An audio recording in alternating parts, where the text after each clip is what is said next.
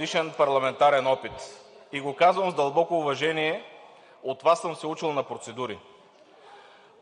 Но може би прегласуванията не са от най-силната Ви страна.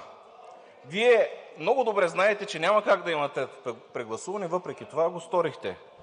Всъщност, госпожо Председател, участвате в един цирк и всички тези процедури за прекратявания, всички тези предложения, разминавания на числата в бюджета са едно голямо театро, което тези господа разиграват, за да може един човек, който стиска указа против Конституцията, против нормите на Конституцията, да може да си избере удобна за неговата кампания дата.